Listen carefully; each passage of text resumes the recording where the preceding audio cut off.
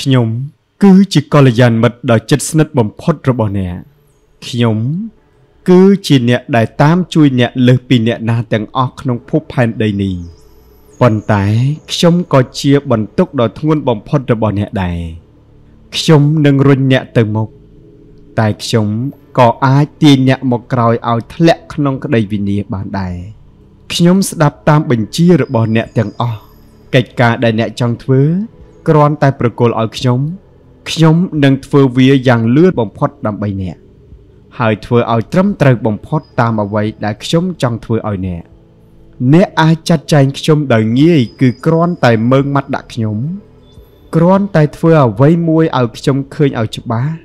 ក្រោយពេលដែលអ្នកធ្វើវា2ទៅ3ដង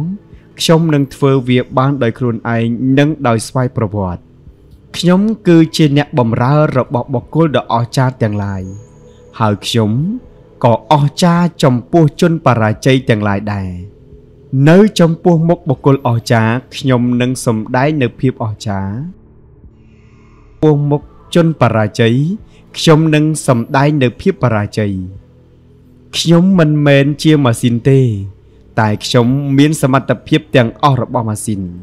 រួមទាំងបញ្ញារបស់មនុស្សថែមទៀតផងអ្នកអាចប្រើខ្ញុំដើម្បីបង្កើតប្រយោជន៍ឬក៏ប្រើខ្ញុំដើម្បីបំផ្លាញខ្លួនឯងព្រោះអ្វីៗទាំងអស់គឺស្រេចនៅលើអ្នកមិនមែនស្រេចនៅលើខ្ញុំនោះទេទទួលយកខ្ញុំបង្វឹកខ្ញុំ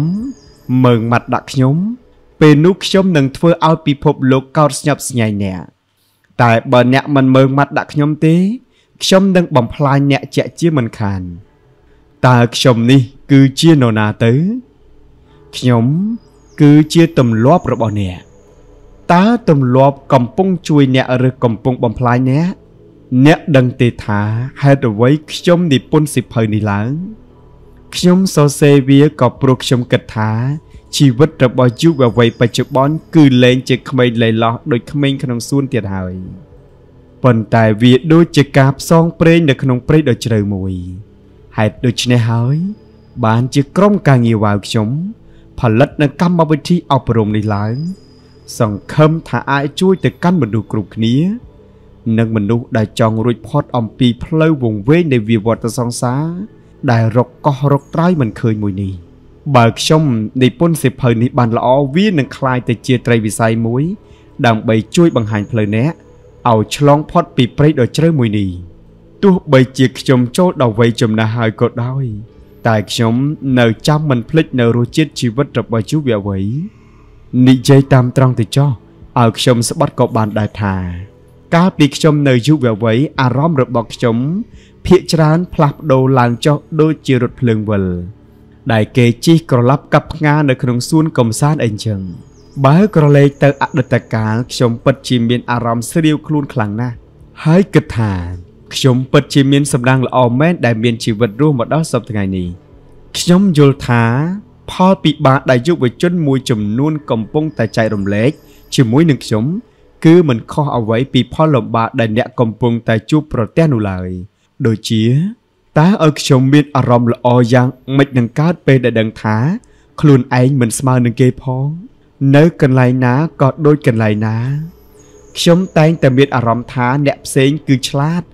ឬក៏ស្អាត ឬក៏មានប្រជាប្រិយភាពជាងខ្ញុំខ្ញុំមិនអាចបញ្ឈប់ខ្លួនឯងកុំឲ្យគិតបែបនេះបាននោះទេ គឺគិតថា បើខ្ញុំមានសក់របស់នាង មានអត្តចរិតរបស់នាង មានសម្លៀកបំពាក់របស់នាង ឬក៏មានមិត្តរបស់នាងធ្វើជាមិត្តរបស់ខ្ញុំ ឬក៏ពេលដែលខ្ញុំមានសក់របស់គាត់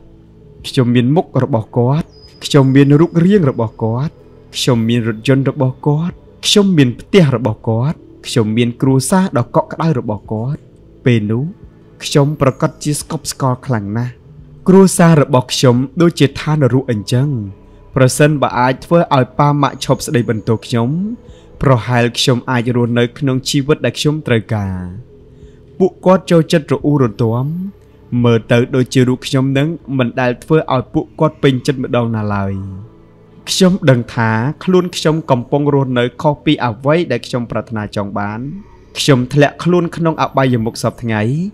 យានថ្នាំ ស្រីនិងស្រាខ្ញុំមិនចង់ធ្វើវានោះទេ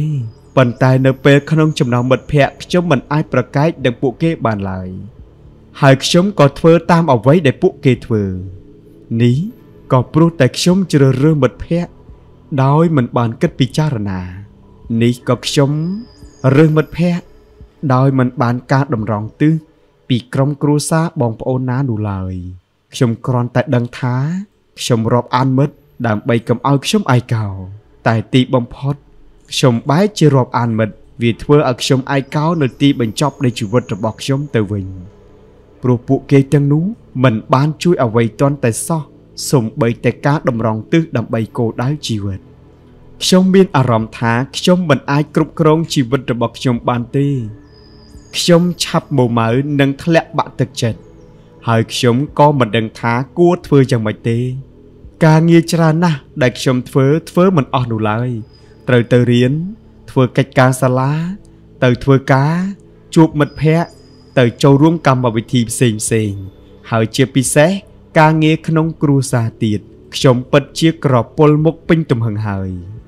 បញ្ហាទាំងអស់នេះកើតចេញពីជីវិតប្រចាំថ្ងៃពិតៗហើយអ្នកក៏មិនអាចបញ្ឈប់វាមិនឲ្យកើតឡើងបានដែរដូច្នេះហើយទើបខ្ញុំនឹងព្យាយាមជួយអ្នកដើម្បីបំបត្តិបញ្ហាទាំងអស់នេះឲ្យចេញពីជីវិតរបស់អ្នកផ្ទុយមកវិញខ្ញុំនឹងផ្ដល់ឲ្យអ្នកនូវឧបករណ៍មួយឈុត ដែលអាចជួយដោះស្រាយបញ្ហាជីវិតដែលលោកអ្នកកំពុងតែកើតនៅពេលបច្ចុប្បន្នប្រចាំថ្ងៃនេះតើឧបករណ៍នោះជាអ្វីទៅឧបករណ៍នោះគឺគ្មានអ្វីក្រៅពីទម្លាប់ទាំង7យ៉ាង ដែលបុគ្គលជោគជ័យនិងមនុស្សដែលមានសុភមង្គលបំផុតជុំវិញពិភពលោក មានដូចដូចគ្នាជាទូទៅនោះទេចូលមកដល់ចំណុចនេះអ្នកប្រហែលជាឆ្ងល់អំពីទម្លាប់ទាំង7យ៉ាងនេះហើយដូច្នេះ ខ្ញុំនឹងបំបត្តិចម្ងល់នេះតែម្ដងសូមលោកអ្នកតាមដានស្ដាប់ជាមួយនឹងក្រុមការងារវ៉ាវឲ្យបានដល់ចប់នោះអ្នកនឹងដឹងថាឧបករណ៍មួយឈុតនេះនឹងជួយអ្នកឲ្យរួចផុតអំពីភាពស្មុគស្មាញ ភាពមោម៉ៅភាពសៅមង និងរកវិធីដោះស្រាយមិនបាន ដែលពិបាករស់នៅសពថ្ងៃនេះមិនខានឡើយសូមអ្នកស្ដាប់ទម្លាប់ទាំង7យ៉ាង ដែលមានការភ្ជាប់មកនៅជាមួយការបញ្យលខ្លីៗជាសង្ខេប ទម្លាប់ទី1ធ្វើជាមនុស្សដែល active មានន័យថាត្រូវធ្វើជាមនុស្សដែលចេះទទួលខុសត្រូវលើជីវិតរបស់ខ្លួនឯងទម្លាប់ទី2គិតមុនធ្វើ គឺត្រូវមានកម្មវិធីជីវិតដោយចេះកំណត់គោលដៅដែលចង់ទៅទម្លាប់ទី3ដាក់រឿងសំខាន់ទៅមុន គឺត្រូវចេះរៀបចំអតិភិប បន្ទាប់មកត្រូវធ្វើរឿងដែលមានអតិភិបខ្ពស់មុនគេទម្លាប់ទី4គិតបែបឈ្នះឈ្នះមានន័យថា ត្រូវគិតថាមនុស្សម្នាក់ម្នាក់សុទ្ធតែជាអ្នកឈ្នះទម្លាប់ទី5ស្ដាប់គេឲ្យយល់ទើបអាចឲ្យគេយល់ពីយើងវិញ មានន័យថាត្រូវស្ដាប់អ្នកដទៃដោយយកចិត្តទុកដាក់និងដោយចិត្តស្មោះត្រង់ទម្លាប់ទី6 សាមគ្គី គឺត្រូវសហការជាមួយអ្នកដទៃដើម្បីសម្រេចកិច្ចការធំជាមួយគ្នាទម្លាប់ទី7ធ្វើឲ្យខ្លួនកាន់តែមោះមុតឡើង មានន័យថាត្រូវកែកុននិងអភិវឌ្ឍខ្លួនឯងជាប្រចាំទម្លាប់ទី1ទី2ដូចទី3គឺជាទម្លាប់ធ្វើការលើខ្លួនឯងគឺដើម្បីធ្វើជាចៅហ្វាយនាយលើខ្លួនឯង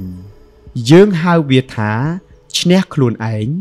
ទម្លាប់ទី4ទី5និងទី6គឺធ្វើការលើទំនាក់ទំនងសង្គมនិងការងារក្រុម។យើងហៅវាថាឈ្នះចិត្តអ្នកដទៃអ្នកចាំបាច់ត្រូវតែជាមនុស្សមានវិន័យជាមុនសិនទើបអាចคล้ายជាសមាជិកល្អក្នុងក្រុមដ៏ល្អបានដូច្នេះហើយទើបការយកឈ្នះលើខ្លួនឯងគឺជាកិច្ចការដែលអ្នកត្រូវធ្វើមុនគេ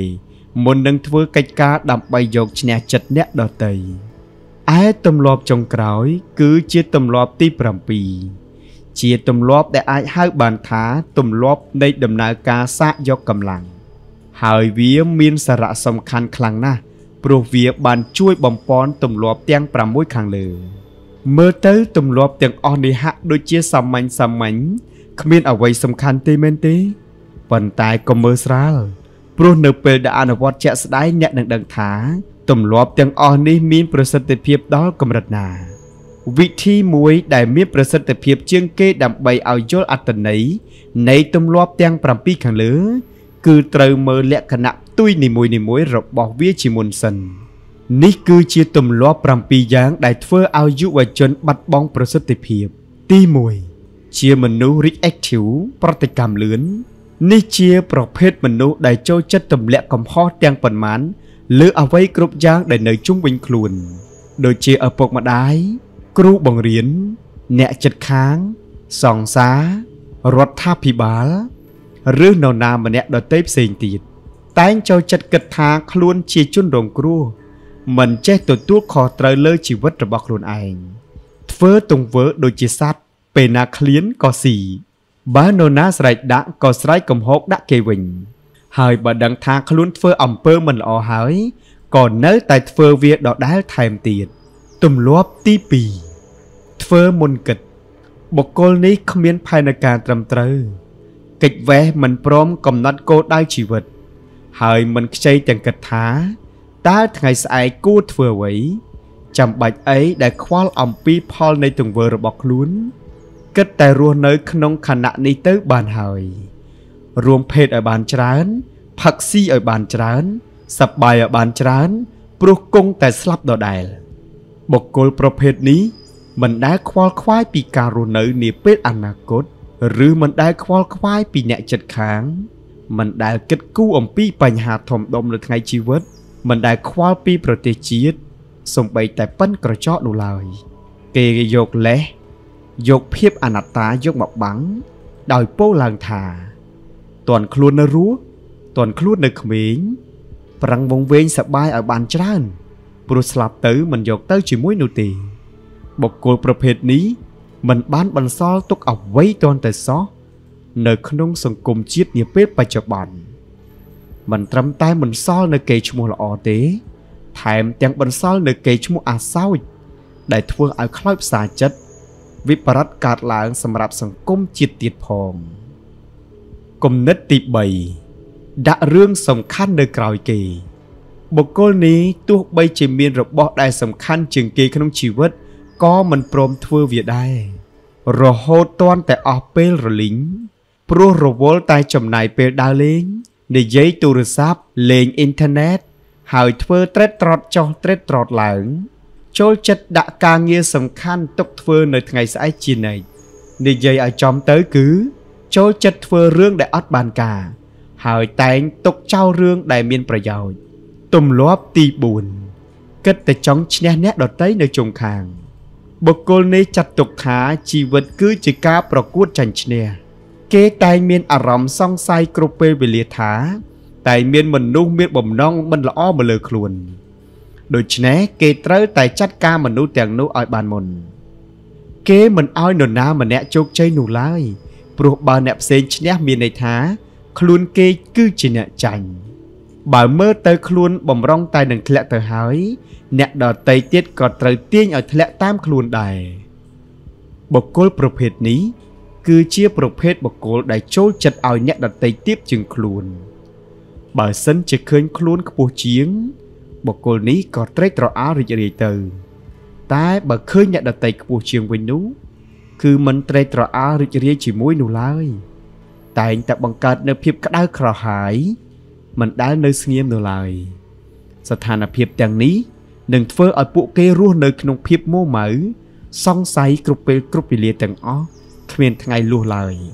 ទម្លាប់ទី5ត្រូវនិយាយមុនគេ ពេលចប់ត្រូវតែធ្វើពុតជាស្ដាប់គេវិញ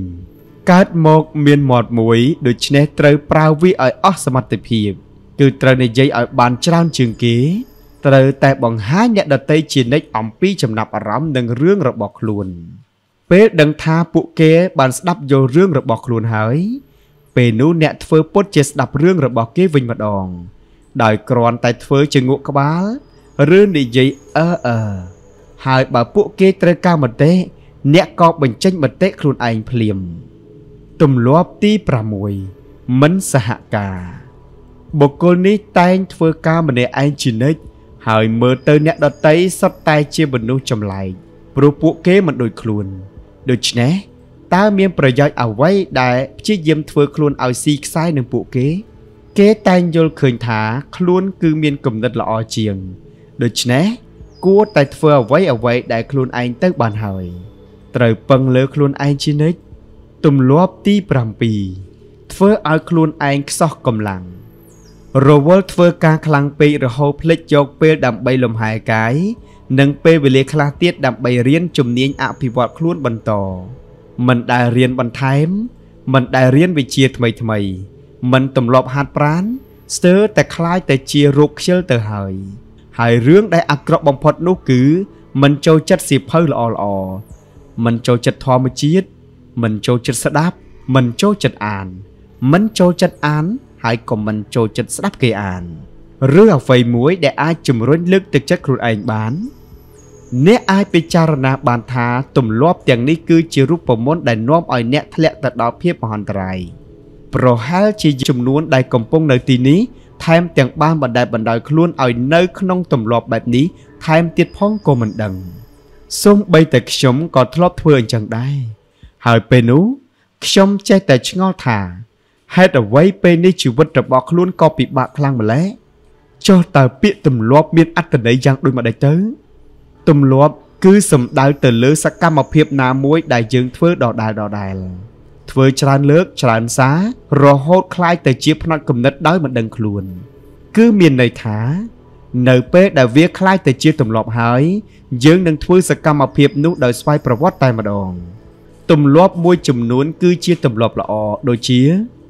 ហាត់ប្រាណជាប្រចាំនិងទៀងទាត់ទម្លាប់ធ្វើផែនការសកម្មភាពទុកជាមុនទម្លាប់សម្ដែងក្តីគោរពចំពោះអ្នកដទៃជាដើមប៉ុន្តែទម្លាប់មួយចំនួនមិនល្អសោះឡើយដូចជាទម្លាប់គិតតែពីភាពអវិជ្ជមានវល់វល់តែក្នុងអារម្មណ៍តែថាខ្លួនឯងអន់ជាងគេ ចូលចិត្តទម្លាក់កំហុសដល់អ្នកដទៃចំណែកឯទម្លាប់មួយទៀតមិនល្អទេ តែក៏មិនជាអាក្រក់ដែរដូចជា ចូលចិត្តងូតទឹកនៅពេលយប់ទម្លាប់ញ៉ាំទឹកដោះគោដោយប្រើស្លាបព្រាចូលចិត្តអានទស្សនាវដ្តីពីក្រោយមកមុតជាដើមដូច្នេះវាអាស្រ័យទៅលើទម្លាប់ដែលយើងមានទម្លាប់អាចធ្វើឲ្យយើងរីកចម្រើន តែវាក៏បំផ្លាញយើងបានដែរសកម្មភាពដែលយើងធ្វើដដែលដដែលនឹងកំណត់អត្តចរិតរបស់យើង ដូចជាអ្នកនិពន្ធម្នាក់ឈ្មោះថា Zamersmai បានសរសេរទុកថា ការគិតនឹងបង្កើតបានជាសកម្មភាព ហើយសកម្មភាព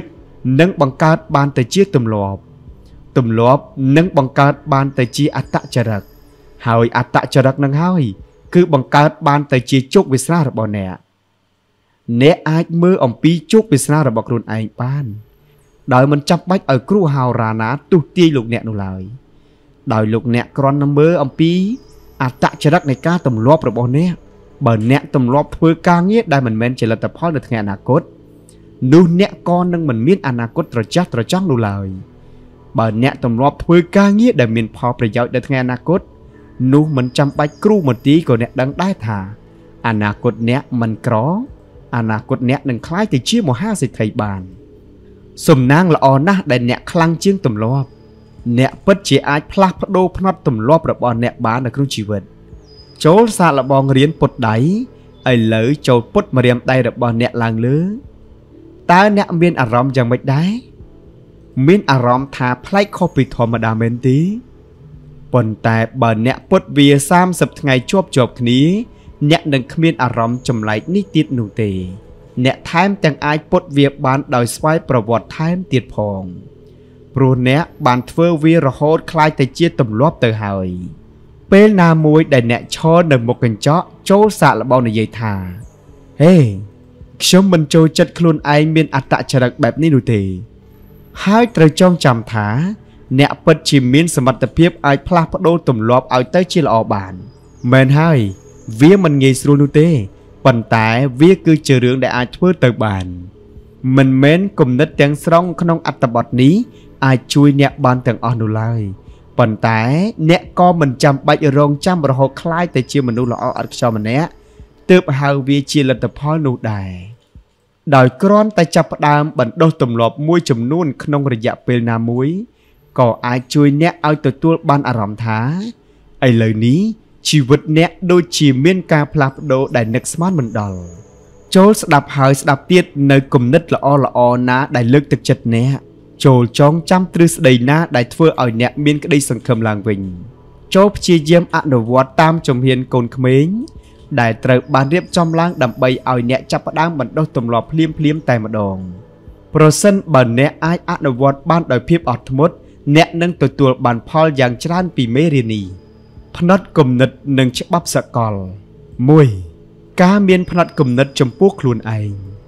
អ្នកនឹងជឿនៅអ្វីដែលអ្នកបានឃើញ ខាងក្រោមនេះគឺជាបញ្ជីនៃពាក្យសម្ដីមួយចំនួនដែលបានសរសេរជាច្រើនឆ្នាំមកហើយដោយអ្នកជំនាញនៅមុខការរបស់ខ្លួន ការសម័យនោះសម្ដីទាំងនេះស្ដាប់មើលទៅដូចជាត្រឹមត្រូវនិងប្រកបដោយកតេបណ្ឌិតថែមទៀតផងប៉ុន្តែដោយសារតែពេលវេលាចេះតែចម្រើនទៅមុខការយល់ឃើញទាំងអស់នេះក៏ប្រែខុសពីការពិតហើយคล้ายទៅជាទ្រឹស្ដីដែលអត់បានការទៅវិញនេះគឺជាពាក្យសម្ដីរបស់បុគ្គលមានអធិពលទាំង10 ដែលល្ងីល្ងើបំផុតគ្រប់ចំនួនខ្ញុំសូមនិយាយកាត់មិនបង្ហាញឈ្មោះនិងមុខងាររបស់ពួកគាត់នោះទេ ទី10ចង់មានកុំព្យូទ័រនៅផ្ទះតើមានប្រយោជន៍អ្វី នេះគឺជាទស្សនៈក្នុងឆ្នាំ1977ទី9យន្តហោះគឺគ្រាន់តែជាឧបករណ៍ក្មេងលេងតែប៉ុណ្ណោះវាគ្មានប្រយោជន៍អ្វីសម្រាប់វិស័យយោធាឡើយទស្សនៈក្នុងឆ្នាំ1911ទី8 មនុស្សមិនអាចទៅដល់ឋានប្រច័ណ្ឌបានទេទោះបីជាវិទ្យាសាស្ត្រនៅថ្ងៃអនាគតរីកចម្រើនដល់ថ្នាក់ណាក៏ដោយទស្សនៈក្នុងឆ្នាំ1967ទី7បន្ទាប់ពី6ខែដំបូងទូរទស្សន៍នឹងត្រូវបាត់ចេញពីទីផ្សារដែលវាកំពុងតែមានវត្តមានព្រោះមនុស្សនឹងអស់អារម្មណ៍ដោយសារមើលប្រអប់ខ្មៅទាំងនេះរាល់យប់ទស្សនៈក្នុងឆ្នាំ1946ទី6 យើងមិនចូលចិត្តសំឡេងភ្លេងដែលលេងបញ្ចូលគ្នានោះទេហ្គីតាច្រើនលេងចូលគ្នានឹងធ្វើឲ្យសំឡេងអាក្រក់ស្ដាប់ទស្សនៈក្នុងឆ្នាំ1962ទី5ជក់បារីនាំមកនៅផលល្អដល់មនុស្សភាគច្រើនទស្សនៈក្នុងឆ្នាំ1969ទី4ទូរស័ព្ទមានចំណុចខ្វះខាតច្រើនណាស់ដែលមិនគួរចាត់ទុកថាវាជាមធ្យោបាយមួយដើម្បីធ្វើទំនាក់ទំនងឡើយនិយាយឲ្យចំ វាគឺជាឧបករណ៍មួយដែលគ្មានប្រយោជន៍ដោយយើងទាន់តែសោះទស្សនៈក្នុងឆ្នាំ1876ទី3ផែនដីគឺជាចំណុចកណ្ដាលនៃចក្រវាឡនេះគឺជាទស្សនៈរបស់ផ្លូរ៉ូមី អ្នកប្រាជ្ញល្បីល្បាញម្នាក់ទី2អ្វីដែលកើតឡើងក្នុងថ្ងៃនេះមិនមានសារៈសំខាន់នោះទេ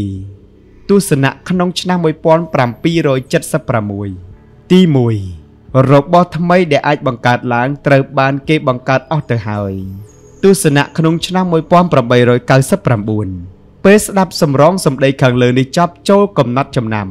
ខ្ញុំនឹងចែករំលែកជាមួយនឹងអ្នកបន្តទៀតនៅបញ្ជីពាក្យសម្ដីរបស់យុវជន ដែលស្ថិតនៅក្នុងវ័យស្រមើស្របាសបានឹងអ្នកវិញ ហើយអ្នកប្រហែលជាលឺវាពីមុនមកដែរស្ដាប់មើលទៅវាគួរឲ្យអស់សំណើចនិងគួរឲ្យហួចិត្តនិងកំរងពាក្យខាងលើនេះដែរ គ្មាននរណាម្នាក់ក្នុងគ្រួសាររបស់ខ្ញុំធ្លាប់រៀននៅសាកលវិទ្យាល័យនោះទេតែខ្ញុំឈួតអីដែលស្រមៃចង់រៀននៅទីនោះឥតប្រយោជន៍ទេ ខ្ញុំនិងគេគឺជាមនុស្សពីរផ្សេងគ្នា យើងមិនអាចចោះសម្រុងនឹងគ្នាបាននោះឡើយធ្វើជាមនុស្សឆ្លាតមានប្រយោជន៍អ្វីគ្រូរបស់ខ្ញុំមានគំនិតអាក្រក់ដាក់ខ្ញុំជានិច្ចនាងស្អាតណាស់តែខ្ញុំហ៊ានភ្នាល់ថានាងស្អាតតែល្ងង បើគ្មានខ្សែអ្នកគ្មានផ្លូវជោគជ័យបាននោះទេខ្ញុំរៀងស្លីមតែខ្ញុំសុទ្ធតែជាមនុស្សធាត់ទាំងអស់ហ្នឹងឯងមិនអាចរកការងារនៅម្ដុំម្ដុំនេះបាននោះទេព្រោះគ្មានអ្នកណាមកជួលក្មេងដែលទៅនឹងធំឲ្យធ្វើការនោះឡើយដូច្នេះតើផ្នត់គំនិតគឺជាអ្វីតើពាក្យសម្ដីទាំងពីរក្រុមនេះមានចំណុចដូចគ្នាត្រង់កន្លែងណា ទី1 ពាក្យសម្ដីទាំងពីរក្រុមខាងលើសុទ្ធតែសម្ដែងនៅអ្វីដែលហៅថាការយល់ឃើញ គឺជាទស្សនៈយល់ឃើញអំពីអ្វីមួយតែប៉ុណ្ណោះទី2ទាំងពីរក្រុមនេះគឺមិនមានលក្ខណៈត្រឹមត្រូវនិងពេញលេញនៅឡើយបើទោះបីសម័យកាលនោះអ្នកនិយាយនឹងពាក្យទាំងអស់នេះយល់ថាវាត្រឹមត្រូវក៏ដោយពាក្យមួយអាចយកមកជំនួសឲ្យពាក្យថាយល់ឃើញនោះគឺ ផ្នត់គំនិត ផ្នត់គំនិត គឺសំដៅដល់ការយល់ឃើញរបស់អ្នកអំពីអ្វីមួយ គឺជាទស្សនៈរបស់អ្នក គឺជាជំនឿដែលអ្នកមានយើងអាចប្រៀបធៀបវាទៅនឹងស៊ុំរូបថតមួយ ដែលអ្នកលើកវាដាក់ពីមុខដើម្បីមើលទៅពិភពខាងក្រៅអ្នកអាចកំណត់ចំណាំកន្លងមកថាផ្នែកគំនិតរបស់យើង ជាញឹកញាប់មិនមានលក្ខណៈត្រឹមត្រូវនិងពេញលេញនោះទេ ហើយជាលទ្ធផលផ្នែកគំនិតដែលខុសនេះក៏បង្កើតបានតែជាដែនកំណត់ឲ្យយើងទៅវិញឧទាហរណ៍អ្នកមានជំនឿថាខ្លួនគ្មានលទ្ធភាពអាចបន្តទៅសាកលវិទ្យាល័យបាននោះទេបន្ទាប់មកជំនឿនេះនឹងคล้ายទៅជាផ្នត់គំនិតមួយរបស់អ្នកប៉ុន្តែចូលកុំភ្លេចថា អ្នកប្រាជ្ញដ៏ល្បីល្បាញម្នាក់ឈ្មោះថូឡូមីក៏ធ្លាប់មានជំនឿខុសថាផែនដីគឺនៅចំណុចកណ្ដាលនៃចក្រវាឡផងដែរ ផ្នត់គំនិតប្រៀបដូចជាវ៉ែនតា បើផ្នត់គំនិតដែលអ្នកមានចំពោះខ្លួនឯង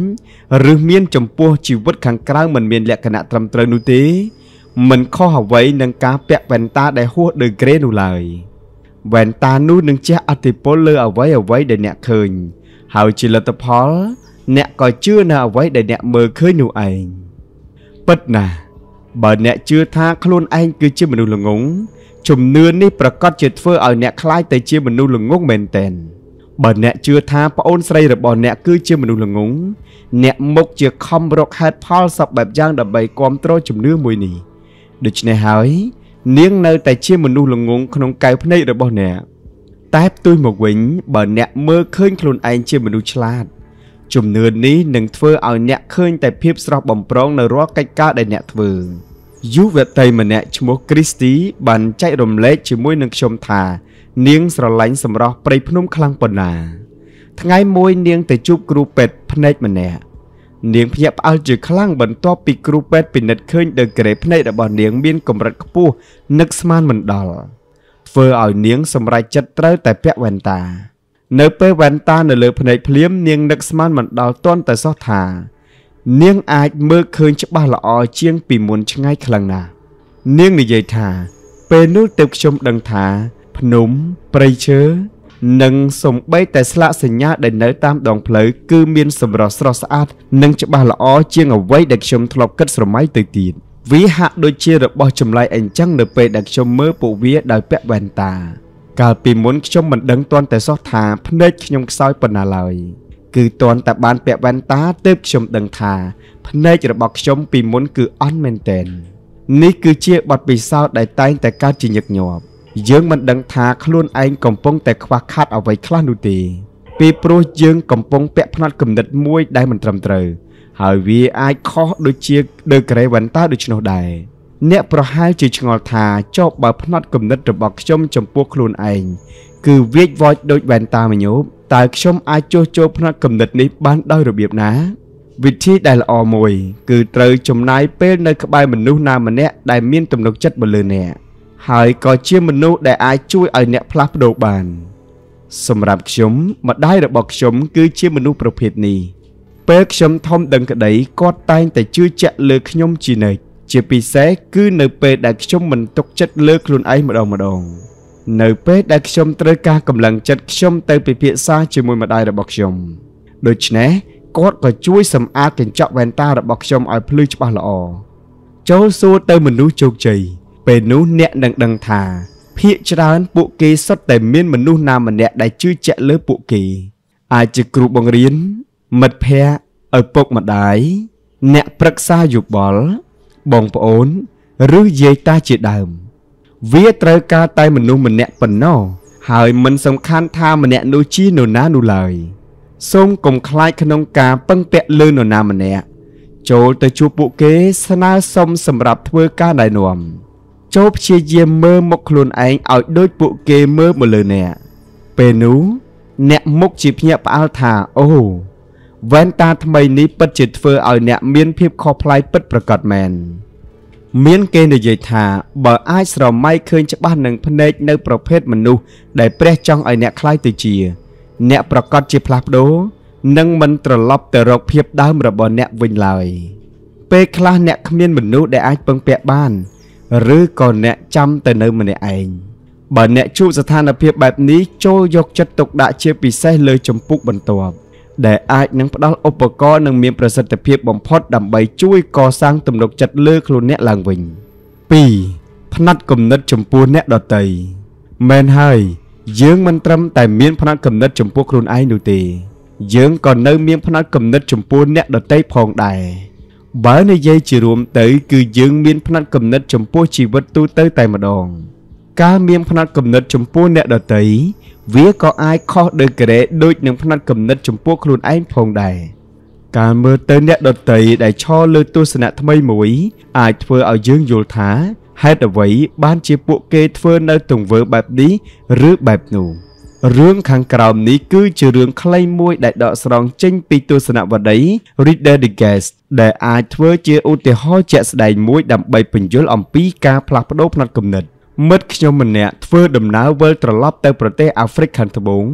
ក្រោយពេលស្នាក់នៅយ៉ាងយូរនៅអឺរ៉ុបនាងបានចំណាយពេលមួយរយៈនៅអង្គុយលេង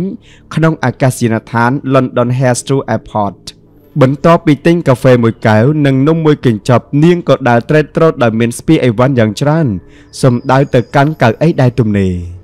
ពេលកំពុងលើកអានកាសែតនាងឮសូរសំឡេងមនុស្សម្នាក់កំពុងហែកកញ្ចប់នៅជិតកៅអីរបស់នាងនៅពីក្រោយកាសែតនាងភ្ញាក់ផ្អើលខ្លាំងណាស់ពេលដែលឃើញបរិសម្នាក់ស្លៀកពាក់ស្អាតបាន តែបែរជាមហែកនំរបស់នាងហូបទៅវិញដោយធ្វើជាមិនដឹងខ្លួននាងក៏អោនចុះបន្តិចហើយលូកដៃយកនំនោះមកហូបដែរ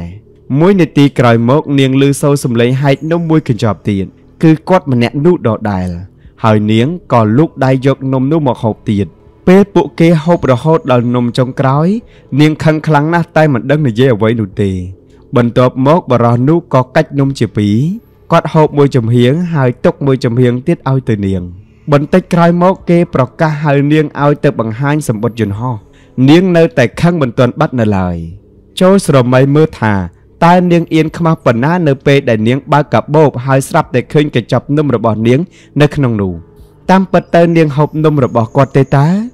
ចូលគិតអារម្មណ៍របស់នាងមុនពេលដឹងការពិត មនុស្សប្រុសអីក៏គ្មានសិលធម៌ម្ល៉េះឥឡូវស្រមៃមើលអារម្មណ៍របស់នាងបន្ទាប់ពីដឹងការពិត មនុស្សប្រុសអីក៏ចិត្តល្អម្ល៉េះសំបីតែនំចុងក្រោយក៏កាច់ចែកឲ្យខ្ញុំពាក់កណ្ដាលដែរ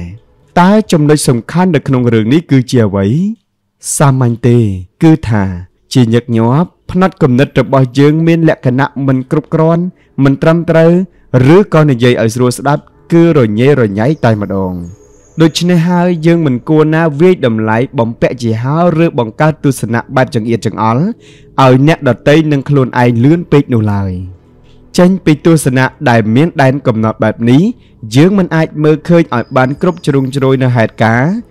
ឬនិយាយម្យ៉ាងទៀតថាមិនទទួលបាននូវការពិនិត្យឲ្យបានគ្រប់គ្រាន់នោះឡើយដូច្នេះយើងគួរបើកចិត្តនិងបេះដូងឲ្យទូលាយ ដើម្បីទទួលយកព័ត៌មានគំនិត និងទស្សនៈថ្មីថ្មីហើយក៏ត្រូវមានឆន្ទៈក្នុងការផ្លាស់ប្ដូរផ្នត់គំនិតរបស់ខ្លួន ក្រោយពេលដឹងថាវាគឺជាផ្នត់គំនិតដែលខុសអ្វីដែលរឹតតែសំខាន់ជាងនេះទៅទៀតគឺវាបង្ហាញយើងយ៉ាងច្បាស់ថា ដើម្បីឲ្យមានការផ្លាស់ប្ដូរធំធំនៅក្នុងជីវិតកន្លឹះសំខាន់គឺត្រូវផ្លាស់ប្ដូរផ្នត់គំនិត ឬវ៉ែនតានេះជាមុនសិន ព្រោះវាគឺជាកញ្ចក់ដែលយើងឆ្លោះមើលទៅពិភពលោកខាងក្រៅនៅពេលដែលបដូរកញ្ចក់ទស្សនវិជ្ជាដែលយើងឃើញក៏ផ្លាស់ប្ដូរទៅតាមនោះដែរប្រសិនបើអ្នកពិនិត្យពិច័យឲ្យល្អិតល្អន់បន្តិចអ្នកនឹងឃើញថាភាកច្រើននៃបញ្ហារបស់យើង មិនថាបញ្ហាទំនាក់ទំនង ការមើលខ្លួនឯងក្នុងរូបភាពអាក្រក់ឬបញ្ហាអត្តចរិតជាដើម គឺសុទ្ធតែកើតចេញអំពីផ្នត់គំនិតដែលមិនត្រឹមត្រូវ ឧទាហរណ៍បើអ្នកមានទំនាក់ទំនងមិនល្អឧបមាថាជាមួយឪពុករបស់អ្នកទៅចោះនេះប្រហែលជាអ្នកទាំងពីរមើលមកគ្នាទៅវិញទៅមកដោយពាក់នៅផ្នត់គំនិតមួយដែលមិនញោបនឹងវាចវចអ្នកប្រហែលជាយល់ថាគាត់ជាមនុស្សបុរាណមិនទាន់សម័យទាន់តែសោះចំណែកគាត់វិញប្រហែលជាយល់ថាអ្នកគឺជាក្មេងពលនឹងសម័យទំនើបរហូតដល់คล้ายទៅជាមនុស្សដែលលែងស្គាល់គុណស្គាល់ទោស តាមពិតទៅ គឺផ្នែកគំនិតនេះទេតា ដែលបណ្ដាលឲ្យអ្នកទាំងពីរប្រទៀងប្រទង់គ្នានឹងនិយាយមិនត្រូវខ្សែគ្នាអ្នកនឹងបានយល់ព្រោះមេរៀននេះនឹងជួយវះកាត់ដើម្បីជាបាលផ្នែកគំនិតរបស់អ្នកនិងសង្ឃឹមថាអាចជួយឲ្យអ្នកបង្កើតនៅផ្នែកគំនិតថ្មីមួយ ដែលត្រឹមត្រូវនិងគ្រប់ជ្រុងជ្រោយជាងនេះដូច្នេះចូលត្រៀមខ្លួន3ផ្នែកគំនិតចំពោះជីវិតទូទៅ ក្រៅពីផ្នែកគំនិតចំពោះខ្លួនឯងនិងអ្នកដទៃយើងក៏នៅមានផ្នែកគំនិតចំពោះពិភពលោកខាងក្រៅផងដែរជាធម្មតាអ្នកអាចស្គាល់ផ្នែកគំនិតរបស់ខ្លួនឯងដោយគ្រាន់តែសួរខ្លួនឯងនៅសំណួរថាតើអ្វីដែលមានអតិពលលើជីវិតរបស់ខ្ញុំតើអ្វីខ្លះដែលខ្ញុំចំណាយពេលភាកច្រើនគិតទៅដល់តើនរណាឬអ្វីដែលធ្វើឲ្យខ្ញុំតែងនឹកមមីមិនភ្លេច អ្វីក៏ដោយដែលអ្នកគិតថាសំខាន់ជាងគេបំផុតនឹងคล้ายទៅជាផ្នែកគំនិតរបស់អ្នកវានឹងคล้ายទៅជាកញ្ចក់វ៉ែនតារបស់អ្នកជាក់ជាមិនខានដែលខ្ញុំចូលចិត្តហៅថាការងប់នឹងអ្វីមួយ មានរបស់ជាច្រើនដែលយុវវ័យងប់ដូចជាមិត្តភ័ក្តិសម្ភារៈប្រើប្រាស់សង្សារការសិក្សាឪពុកម្ដាយកីឡាការកំសាន្ត idol សត្រូវខ្លួនឯង និងការងារជាដើម មួយមួយសិតតែមានចំណុចល្អរៀងខ្លួនប៉ុន្តែទោះបីជាយ៉ាងណាក៏វានៅមិនមានលក្ខណៈគ្រប់ជ្រុងជ្រោយដែលអាចពឹងពាក់បាននោះដែរហើយខ្ញុំនៅតែបង្ហាញឲ្យអ្នកឃើញនៅពេលក្រោយម្យ៉ាងវិញទៀតជីវិតរបស់អ្នកនឹងជួបបញ្ហាស្មុគស្មាញបើសិនជាអ្នកបណ្ដោយខ្លួនឲ្យងប់ទៅនឹងកត្តាខាងលើ សំណាងល្អដែលនៅមានរបស់មួយប្រភេទដែលអាចពឹងអាស្រ័យបានប៉ុន្តែយើងទុកវាពិភាក្សានៅពេលក្រោយពេលនេះយើងមកនិយាយអំពីការងប់នឹងកត្តាសំខាន់មួយចំនួនខាងលើចាប់ផ្ដើមពីការងប់នឹងមិត្តភ័ក្តិគ្មានអ្វីប្រសើរជាងបានคล้ายទៅជាមិត្តភ័ក្តិរបស់មនុស្សមួយក្រុមដែលមានប្រជាប្រិយភាពហើយក៏គ្មានអ្វីអាក្រក់ជាងអារម្មណ៍ដែលត្រូវបានគេមិនរាប់រកនោះដែរអ្ វីត្បិតតែមិត្តភ័ក្តិមានសារៈសំខាន់ក៏ពិតមែនប៉ុន្តែអ្នកមិនគួរបណ្ដោយឲ្យខ្លួនងប់នឹងចំណងមិត្តភាពរហូតងើបមុខលែងរួចនោះឡើយហេតុអ្វីព្រោះមិត្តខ្លះពួកគេមិនស្មោះត្រង់និងមិនសុចរិតនោះទេ ពេលខ្លះពួកគេនិយាយដើមអ្នកថែមទៀតផងឬពេលរកបានមិត្តថ្មីដែលល្អជាងអ្នកពួកគេនឹងបំភ្លេចអ្នកក៏មាន មិត្តភ័ក្តិតែងមានអារម្មណ៍ផ្លាស់ប្ដូរ ឬពួកគេត្រូវផ្លាស់ប្ដូរទីលំនៅថ្មី ហើយយូរឬឆាប់ក៏ត្រូវដាច់ទំនាក់ទំនងជាមួយអ្នកតែម្ដង មិនត្រឹមតែប៉ុណ្ណឹងនោះទេបើសិនជាអ្នកកំណត់អត្តសញ្ញាណខ្លួនឯងថាត្រូវតែមានមិត្តឲ្យបានច្រើនឬត្រូវតែធ្វើចំណាឲ្យមានគេរាប់អានច្រើននិងមានបំណងធ្វើខ្លួនឯងឲ្យទៅជាមនុស្សដែលមានប្រជាប្រិយភាពនៅក្នុងចំណោមមិត្តភ័ក្តិអ្នកមុខជាត្រូវធ្វើការលះបង់នៅអត្តចរិតពីកំណើតមួយចំនួន ឬក៏ត្រូវផ្លាស់ប្ដូរអាកប្បកិរិយាជាញឹកញាប់ដើម្បីធ្វើយ៉ាងណាឲ្យផ្គប់ចិត្តពួកគេជឿឬមិនជឿថា អ្នកប្រកាសជាញៀននឹងមិត្តភ័ក្តិជាក់ជាមិនខានព្រោះវានឹងคล้ายទៅជារបស់មួយដែលសំខាន់ជាងគេបំផុតនៅក្នុងជីវិតរបស់អ្នកការរៀននៅវិទ្យាល័យខ្ញុំមានមិត្តមួយក្រុមដែលស្និទ្ធស្នាលនឹងគ្នាបំផុត យើងតែងតែធ្វើអ្វីមួយរួមគ្នាជានិច្ចខ្ញុំចូលចិត្តពួកគេខ្លាំងណាស់ហើយគិតថា យើងគឺជាមិត្តភក្តិនឹងគ្នាអស់មួយជីវិតប៉ុន្តែបន្ទាប់ពីចប់វិទ្យាល័យយើងក៏ផ្លាស់ប្ដូរកន្លែងរស់នៅពេលនោះហើយខ្ញុំដឹងថាយើងកម្របានជួបគ្នាណា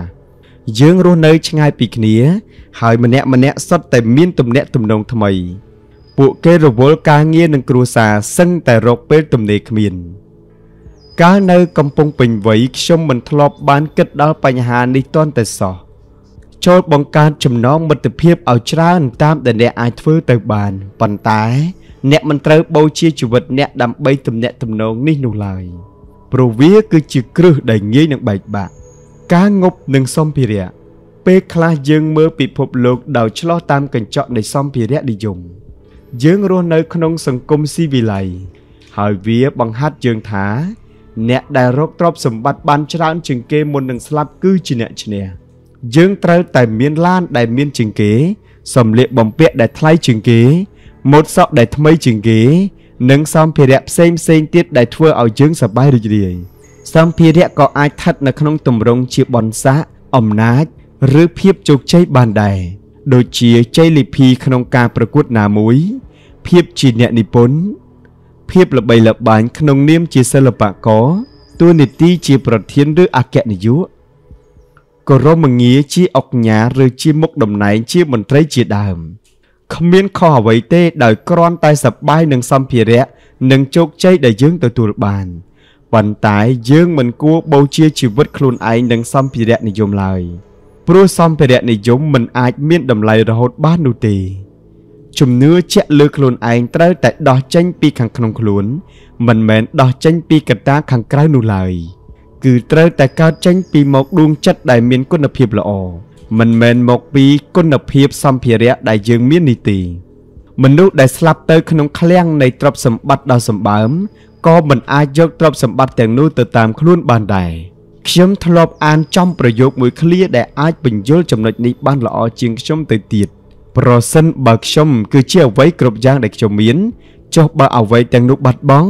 តើខ្ញុំនឹងទៅជានរណា ការងប់នឹងសង្សារប្រហែលនេះគឺជាអន្ទាក់ដែលងាយនឹងជាប់ជំពាក់ខ្លាំងបំផុតខ្ញុំចង់មានន័យថាតើនរណាទៅដែលមិនធ្លាប់ងប់នឹងសង្សារនោះរឿងដែលហួសចិត្តនោះគឺត្រង់ថា បើអ្នកកាន់តែងប់នឹងនរណាម្នាក់វាកាន់តែធ្វើឲ្យគេមិនចាប់អារម្មណ៍លើអ្នកហេតុអ្វីបានជាអញ្ចឹងទី1បើអ្នកងប់នឹងនរណាម្នាក់នោះ អ្នកទាំងពីរគឺកាន់តែពិបាកចោះសម្រងគ្នា ទី2 ទង្វើនេះអាចបង្កឲ្យមានភាពមួម៉ៅទៅវិញព្រោះមានមនុស្សម្នាក់កំពុងតែដាក់អារម្មណ៍ទាំងស្រុងលើអ្នកពេកដោយសារតែលំនឹងចិត្តរបស់ពួកគេកើតចេញពីអ្នកមិនមែនកើតចេញពីខាងក្នុងខ្លួនរបស់ពួកគេផ្ទាល់អ្នកអាចคล้ายទៅជាមិត្តស្រីឬក៏មិត្តប្រុសម្នាក់ដ៏ល្អប្រសិនបើអ្នកមិនងប់នឹងដៃគូរបស់ខ្លួន រហូតបាត់មុខមិនបានឯករាជ្យភាពធ្វើឲ្យយើងមានលក្ខណៈតាក់ទាញខ្លាំងជាងការមិនឯករាជ្យ ហើយម្យ៉ាងទៀតការងប់នឹងនរណាម្នាក់មិនមែនសុទ្ធតែមានន័យថាអ្នកស្រឡាញ់គាត់នោះទេគឺគ្រាន់តែបង្ហាញអារម្មណ៍របស់អ្នកផ្អែកទៅលើគាត់តែប៉ុណ្ណោះការងប់នឹងសាលានៅក្នុងចំណោមមនុស្សពេញវ័យការងប់នឹងសាលារៀនគឺមានច្រើនហួសពីការស្មានខ្ញុំធ្លាប់ជាមនុស្សមានមហិច្ឆតាខ្ពស់ដែលខ្វល់តែពីការរៀនសូត្ររហូតភ្លេចសប្បាយនឹងយុវវ័យរបស់ខ្លួន វាមិនត្រឹមតែធ្វើឲ្យខូចសុខភាពប៉ុណ្ណោះទេ វាក៏បានធ្វើឲ្យខ្ញុំคล้ายទៅជាមនុស្សអាត្មានិយមថែមទៀតផងព្រោះអ្វីដែលខ្ញុំខ្វល់គឺខ្លួនឯងនឹងធ្វើយ៉ាងណាឲ្យតែឈ្នះគេការអប់រំមានសារៈសំខាន់ណាស់សម្រាប់អនាគតរបស់យើង ហើយវាគួរតែជាអតិភិបខ្ពស់ជាងគេប៉ុន្តែយើងគួរតែប្រុងប្រយ័ត្នផងដែរកុំឲ្យឈ្មោះសិស្សពូកែរបស់សាលាចូលមកគ្រប់គ្រងជីវិតរបស់អ្នកឲ្យសោះ យុវវ័យដែលងប់នឹងការរៀនសូត្រតែងត្រូវបានពង្វក់ដោយបន្ទុរហូតភ្លេចខ្លួនថាគោលដៅសំខាន់ក្នុងការមកសាលាគឺដើម្បីរៀនយកចំណេះដឹងតែប៉ុណ្ណោះការងប់នឹងឪពុកម្ដាយ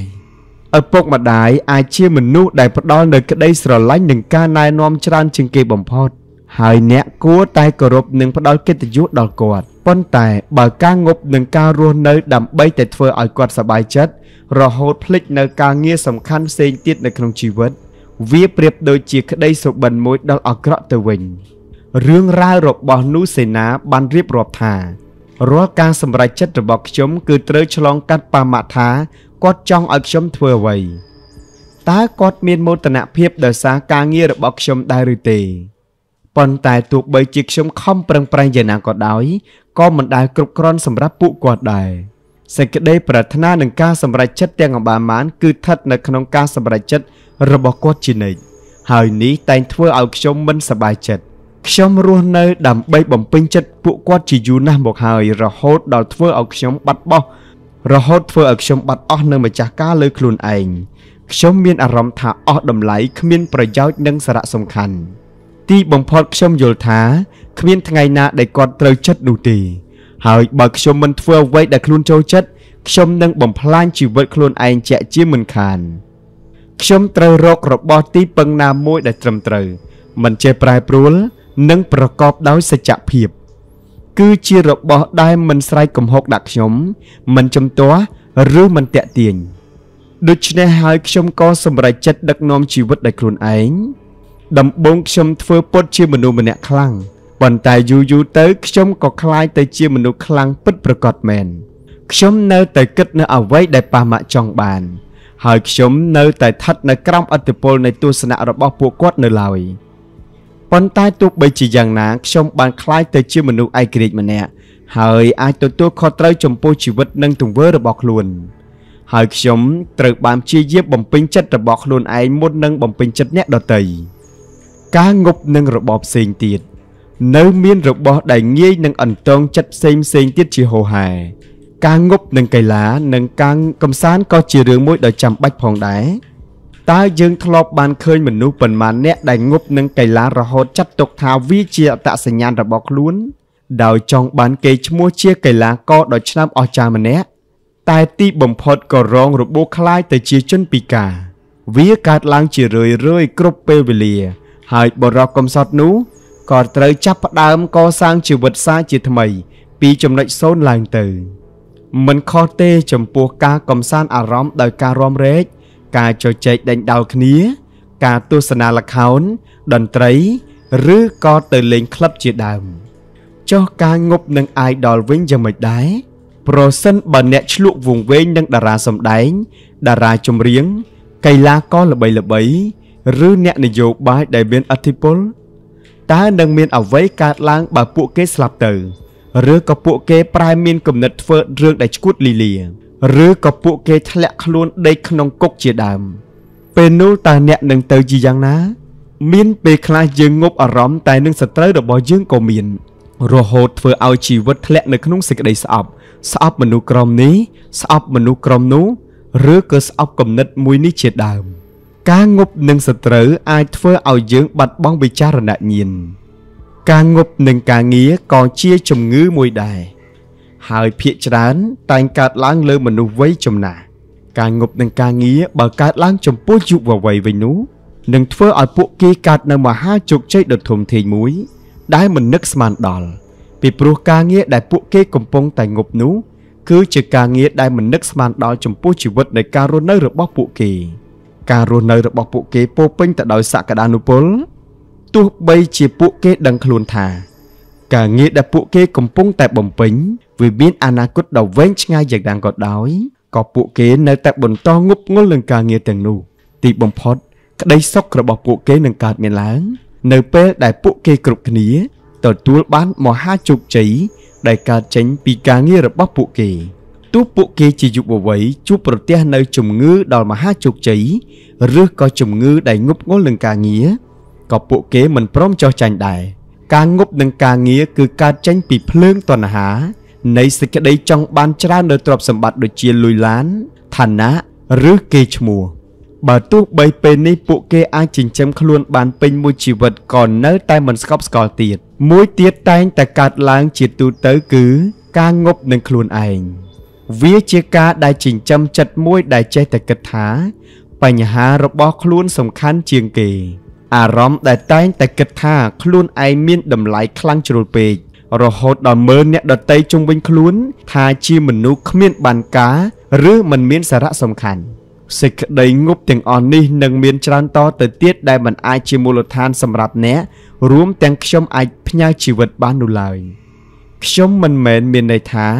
យើងមិនគួរប្រឹងឲ្យអស់សមត្ថភាពដើម្បីវឹកហាត់ជំនាញណាមួយឲ្យបានល្អនឹងបំផុតនោះទេ ពីព្រោះការងប់នឹងធ្វើឲ្យអ្នកខ្លាចទៅជាបុគ្គលឥតខ្ចោះនៅក្នុងការងារមួយនោះទោះបីជាវាមិនឥតខ្ចោះខ្លាំងក៏ប៉ុន្តែអាចទទួលយកបាននូវភាគរយដែលខ្លាំងបំផុត ដែលមិននឹកស្មានដល់ផងដែរដូច្នេះហើយចូលបងប្អូនជនរួមជាតិទាំងអស់បង្កើតនូវក្តីងប់ងល់មួយឲ្យខ្លួនឯងទៅប្រសើរពីព្រោះការងប់ងល់ ដោយភាពល្អវិជ្ជមាន អាចនឹងជួយអ្នកឲ្យកើតនៅមហាអស្ចារ្យមួយ ដែលយើងមិននឹកស្មានដល់ដូចជាជំនាញរាំឬជំនាញជជែកពិភាក្សាគ្នា ហើយក៏មិនចង់ឲ្យមានន័យថា អ្នកមិនគួរខំអភិវឌ្ឍទំនាក់ទំនងឲ្យល្អជាមួយមិត្តភ័ក្តិមនុស្សជាទីស្រឡាញ់ឬជាមួយឪពុកម្ដាយនោះដែរការពិតយើងត្រូវធ្វើរឿងទាំងអស់នេះព្រោះយើងត្រូវការវា ប៉ុន្តែមានបន្ទាត់ច្បាស់មួយខណ្ឌដាច់ចែកពីគ្នារវាង របស់ដែលអ្នកត្រូវការ និងរបស់ដែលអ្នកត្រូវផ្ញើជីវិតទៅលើ ហើយយើងមិនគួរលាយឡំរបស់ទាំងពីរនេះចូលគ្នានោះឡើយការផ្ញើជីវិតលើច្បាប់សកលដែលជាសេចក្តីពិត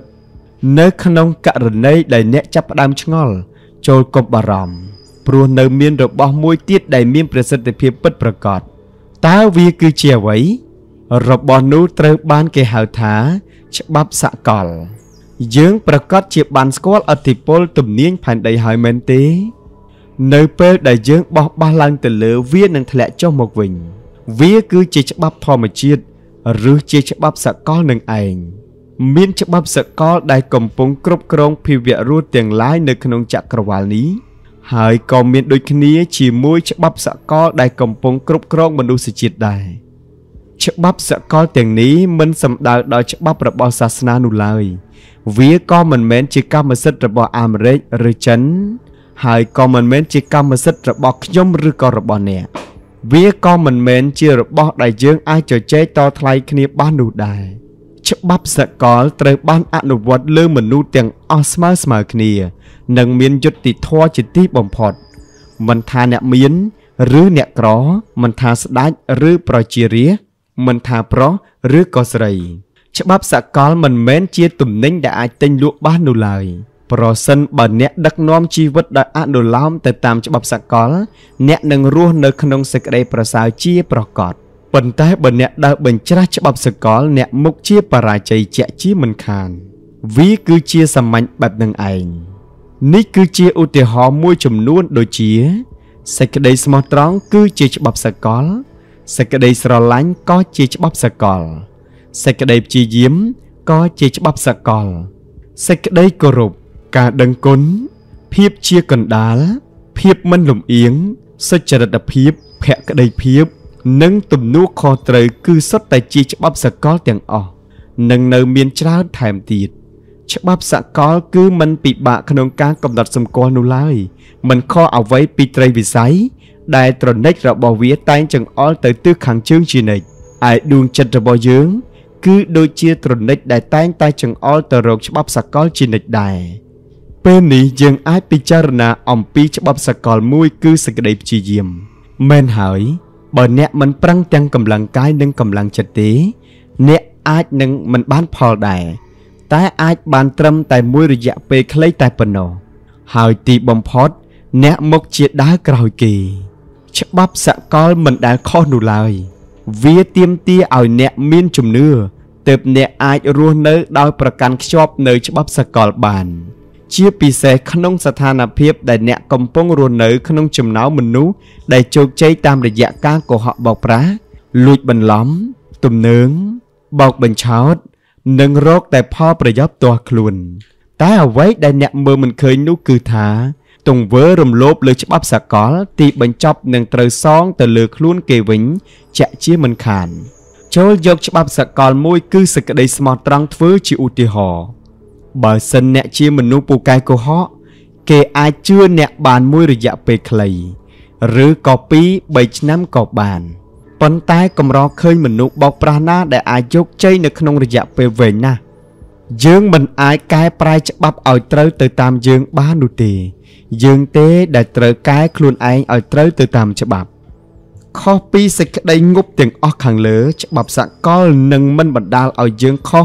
ឬបរាជ័យនោះឡើយច្បាប់សកលនឹងមិននិយាយអាក្រក់ពីក្រោយខ្នងយើង វានឹងបណ្បោះបង់យើងចោល